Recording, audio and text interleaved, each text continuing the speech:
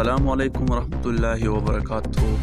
Daily سواٹ T V میں بریوز آپ کے ساتھ شیئر کرتا ہوں۔ خیبر پختونخوا حکومت نے دسمبر میں بلدیاتی انتخابات کا اعلان کر دیا۔ خیبر پختونخوا میں حکومت نے دسمبر میں بلدیاتی انتخابات کا اعلان کر دیا۔ خیبر پختونخوا میں بلدیاتی انتخابات دو مرحلے میں ہوں گی۔ پہلے مرحلے کے تحت ویلج کونسل وینبرگ